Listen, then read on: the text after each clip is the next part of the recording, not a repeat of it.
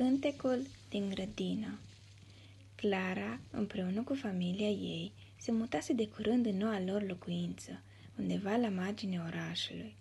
Clara era foarte fericită de noua ei casă, dar și de peisajul din jurul ei.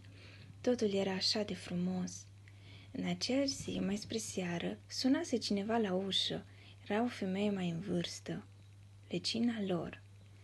Bună, zice femeia, sunt vecina de alături. Am văzut că v-ați mutat și am venit să vă aduc un cadou de casă nouă.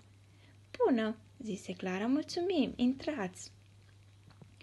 După un timp de povesti cu vecina lor, Clara și familia ei se gândeau că poate nu ar fi rău să mă cheme pe vecina lor și cu alte ocazii la ei, deoarece, ziceau ei, e o doamnă tare simpatică și foarte drăguță. Într-o seară, vecina Clarei auzise niște voci cântând. Se auzea din grădina Clarei. La început parcă voia să meargă la ei și se oprească și în timp ce se îndrepta spre gardul din grădină, brusc se opri. Stătea lângă gard și parcă nu putea să le zică nimic. Avea impresia că striga la ei, dar nu se auzea nimic. Vocile erau din ce în ce mai puternice și cântările erau din ce în ce mai profunde. În timp ce asculta cântările tinerilor, un vers îi răsuna în gând. Ce-ar folosi unui om să câștige lumea dacă și-ar pierde sufletul? Hmm.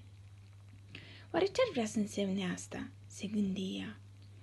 Trecuse câteva zile de atunci, iar bătrâna se afla din nou în casa celor noi veniți. De data aceasta, familia Clare au fost cei care au invitat-o la ei.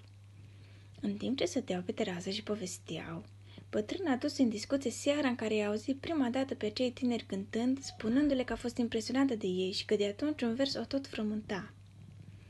Știți dumneavoastră, zise Clara, unii oameni sunt foarte bogați și nu le lipsește nimic și dau impresia că sunt foarte fericiți și împliniți, dar de multe ori nu e așa.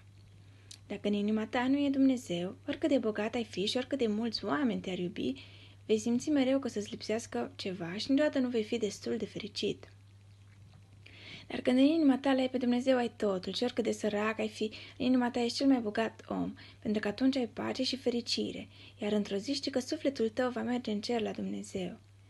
Femeia mărturisise că și ea simțea mereu că lipsește ceva în inima ei și nu știa ce, dar acum este hotărâtă să-L primească pe Domnul Isus în inima ei. După hotărârea luată în acea zi, de fiecare dată când se strâng tineri în grădina Clarei, vecina merge și ea la gardul din grădină și cântă și se roagă împreună cu ei.